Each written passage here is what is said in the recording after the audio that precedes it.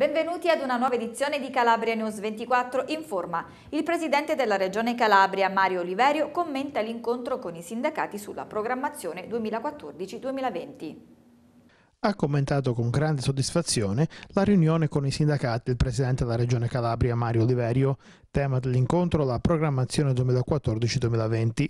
Siamo entrati nella fase operativa, ha detto Oliverio, e dobbiamo essere bravi a coordinare tutti gli strumenti che abbiamo messo in campo, POR, FESR, PAC ed accordi quadro, attraverso una visione chiara ed una conduzione unitaria, proprio per non disperdere le risorse in mille rivoli.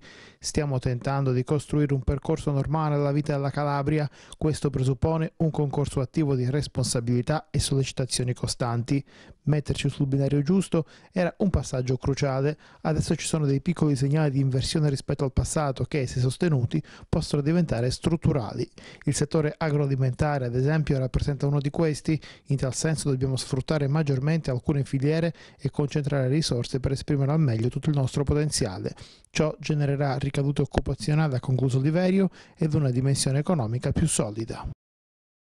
Si è discusso delle problematiche del settore alla prima assemblea di Federpreziosi Confcommercio a Cosenza. La nascita a Cosenza di Federpreziosi Confcommercio ed elezione di Anna Perri nel ruolo di presidente di quella che è la Federazione delle Imprese Orafe, Gioielliere, Argentiere e Orologiaie è stata un'occasione di incontro importante per gli operatori del settore, un momento di confronto svoltosi alla presenza di Steven Tranquilli, direttore generale di Feder Preziosi, al centro del dibattito le opportunità ma anche le problematiche del settore. Sicuramente un rilancio della figura del gioielliere, il gioielliere con la G maiuscola e devo dire che il passaggio che abbiamo avviato oggi della costituzione di un gruppo di operatori che si riconosce all'interno della famiglia Confcommercio come Feder Preziosi Cosenza è un passaggio significativo. Eh, pensiamo nelle prossime settimane di, uh, di avviare un documento programmatico dal quale poi far partire una serie di iniziative tese ovviamente alla conoscenza, a fornire dei dati di formazione e di conoscenza del prodotto orafo. Tutto questo ovviamente organizzato insieme a questo gruppo di, di operatori che si riconosce all'interno di, una, di un'associazione di categoria e crediamo che sia fondamentale per l'operatore stesso il confronto di, di, idee e di iniziative, basti pensare a tutte le novità in campo gemmologico che ovviamente eh, arrivano ogni settimana da quelle che sono il, i famosi laboratori gemmologici presenti sia nel nostro nostro paese che all'estero ed è molto importante che gli operatori abbiano queste conoscenze e come poterlo fare in una, in una casa che è quella di Confcommercio eh, dedicata esclusivamente alla formazione e questo credo che per noi sia molto, molto importante, è importante, ripeto, per gli operatori ma anche per il cliente finale.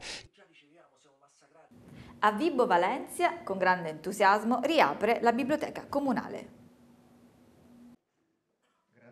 Riapre ufficialmente la Biblioteca Comunale di Vibo Valencia, chiusa in un primo momento per problemi infrastrutturali, quindi inserita nei beni comunali alienabili e poi oggetto di un vibrante e accorato movimento anti-chiusura formato da cittadini vibonesi e associazioni, tutti convinti che un bene così prezioso non dovesse andare perduto. È un momento molto importante anche perché eh, pensavamo di non potercela fare perché abbiamo trovato veramente in condizioni indescrivibili lo stato dei luoghi e soprattutto la situazione che eh, esisteva qui.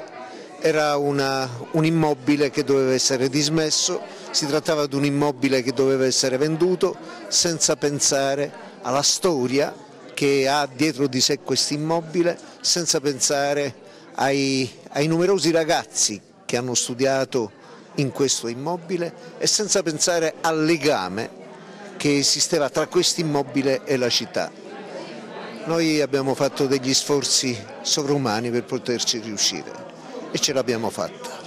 Il fatto che tanti cittadini si siano resi disponibili e abbiano dato una mano perché la biblioteca non chiudesse è particolarmente significativo. Sì, la c'è stato un movimento spontaneo da parte di tanti cittadini, ma anche e soprattutto da parte dell'isola che non c'è, che ci ha aiutato, ci ha aiutato tanto, ma soprattutto i ragazzi dell'isola che non c'è, ai quali va il mio più affettuoso abbraccio e il mio più affettuoso ringraziamento.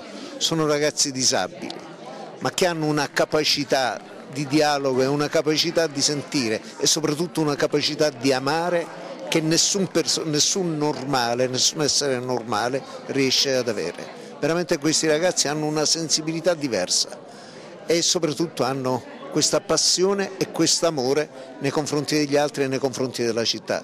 Per questo io sono, sarò sempre loro grato. L'inaugurazione, impreziosita dalla relazione e dalle collezioni di Raniero Pacetti, dagli interventi dell'editore Florindo Rubettino, dell'ex assessore regionale alla cultura Mario Caligiuri e dall'esibizione di un valente giovane pianista Francesco Pagnotta, è stata anche l'occasione per presentare tutte quelle che d'ora in poi saranno le iniziative che verranno intraprese per rendere vivo questo luogo. Ora si ricomincia anche perché abbiamo intenzione non soltanto di lasciare come dire, eh, un immobile che non abbia una sua vita e una sua vitalità, noi abbiamo intenzione di creare all'interno di questa struttura una serie di laboratori in maniera tale da rivitalizzare la Biblioteca Comunale di Vibo Valencia con la partecipazione di tanti giovani che sono appassionati di teatro, che sono appassionati di musica, di restauro, di tante componenti che alla fine finiscono per come dire, per costituire il patrimonio culturale di una, di, una, di una struttura che incomincia a risorgere. A Cosenza una serata per raccogliere fondi per le popolazioni colpite dal terremoto, dove ci sarà un ospite d'eccezione, Carlo Verdone. Il mondo del cinema e dello spettacolo si è sempre mobilitato in occasioni drammatiche come può essere ad esempio un terremoto. Accade anche in questa occasione e anche in Calabria, precisamente a Cosenza.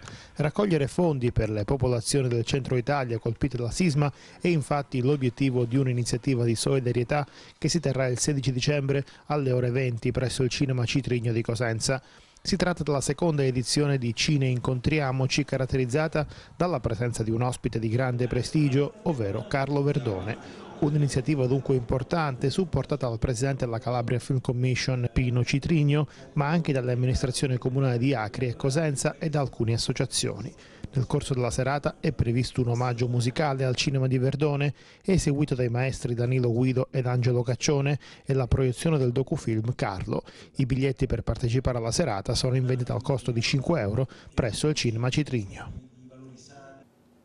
E ora la pallanuoto. Dopo un inizio di campionato difficile, le ragazze del Cosenza sfidano Milano. Sembra un campionato spezzato in due con le prime 5 in 3 punti e le ultime 5 in 4. Parliamo del campionato di pallanuoto femminile di A1 che vede impegnato un Cosenza che ha iniziato male la stagione.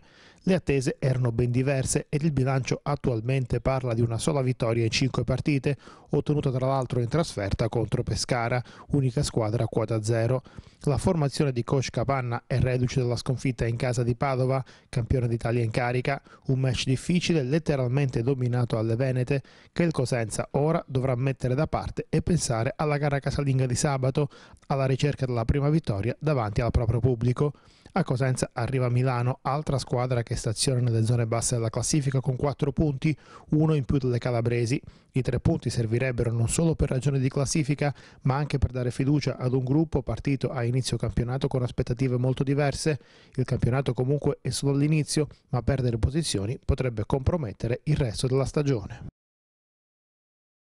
Rientriamo in studio dove nel frattempo ci ha raggiunto il professore Giancarlo Costabile, docente UNICAL di Storia dell'Educazione alla Democrazia. Benvenuto professore. Bentrovati. Ecco, parliamo di un incontro importante che si è svolto ieri all'Università della Calabria, il settantesimo seminario di questo progetto uh, scientifico didattico che è appunto Pedagogia, Pedagogia della, resistenza. della, resistenza. E tra gli altri c'è stato un relatore eh, molto importante che è il sindaco di Napoli Luigi De Magistris. Come è andata?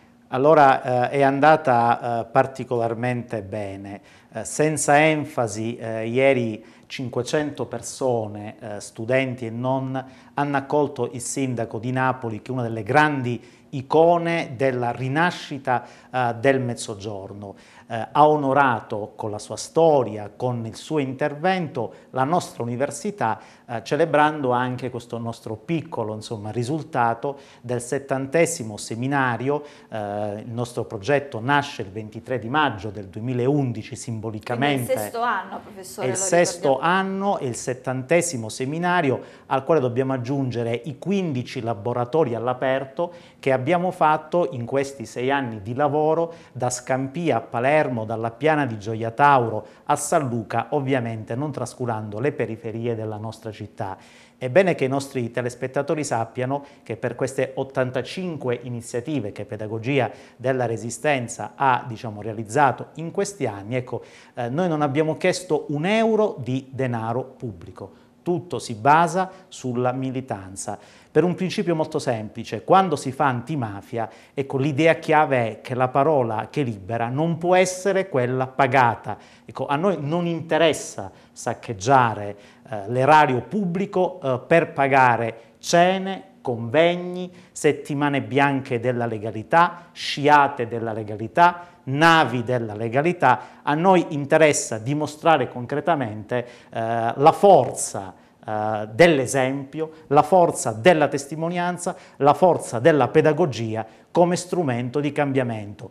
Luigi Quindi De Magistris... verso proprio un riscatto del, del meridione, ovviamente. Verso il riscatto del, del, meridione e De Magistris è una delle grandi, delle grandi figure. Ieri eh, era accompagnato anche dagli amici, dai compagni di lotta di resistenza anticamorra guidati da Ciro Corona, con il quale e con i quali abbiamo costruito negli ultimi due anni questo soggetto scientifico, culturale, pedagogico, non c'entra nulla diciamo la politica, che, è una che si chiama professore in realtà. Che è una rivoluzione, si chiama Resistenze Meridionali, che ha una finalità, quello di promuovere dal basso, senza toccare no, il denaro pubblico, una nuova idea di partecipazione civile, democratica, un nuovo modello di mezzogiorno, non più il mezzogiorno silente, non più il mezzogiorno piegato, non più il mezzogiorno asservito, colonizzato, ma il mezzogiorno che si riprende attraverso l'orgoglio e l'identità il proprio ruolo nella storia nazionale, europea